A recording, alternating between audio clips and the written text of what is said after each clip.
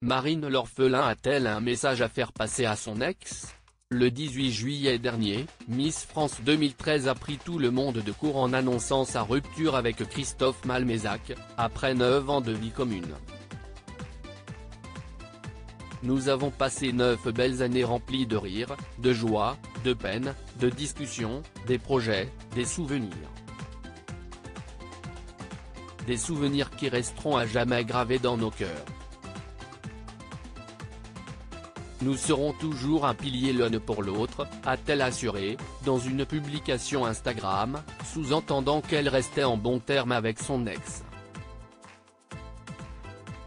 Mais dans une récente publication, la sœur de Louane l'orphelin a partagé un message sans équivoque sur sa vision du couple et sur les attentes qu'elle a d'un partenaire amoureux.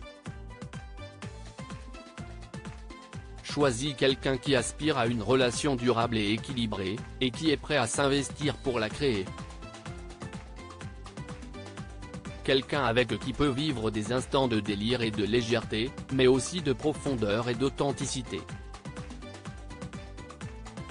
Avec qui tu peux partager des fous rires, mais aussi des discussions qui t'inspirent, qui t'aident, est-il indiqué dans ce texte relayé par la médecin de 30 ans quelqu'un qui t'apporte de la positivité, qui trouve les mots pour te calmer dans les moments tendus ou agités. Choisis une personne avec qui tu peux baisser ta garde, te lâcher, aussi bien que concevoir de beaux projets et les concrétiser, a-t-on pu lire en conclusion. Des mots qui ont visiblement résonné dans l'esprit de Marine l'orphelin.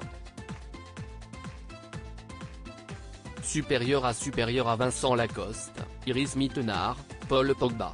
Comme gala, ils fêtent leurs 30 ans en 2023 Marine l'orphelin célibataire, elle retrouve le sourire auprès d'une ancienne Miss si Marine l'orphelin n'a pas souhaité s'apesantir sur les raisons de sa séparation avec Christophe Malmézac et ne s'est pas non plus exprimée sur son avenir en Nouvelle-Calédonie, elle a en tout cas pu compter sur la grande famille des anciennes Miss France pour lui apporter le soutien nécessaire et lui faire penser à autre chose.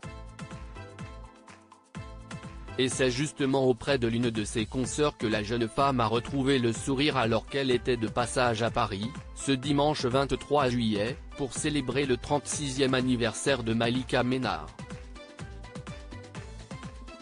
Marine l'orphelin, visiblement désireuse de prendre du temps pour elle, a ensuite mis le cap vers Copenhague.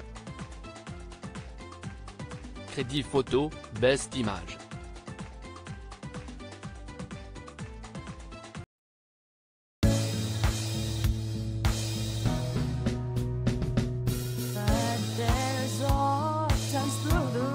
times I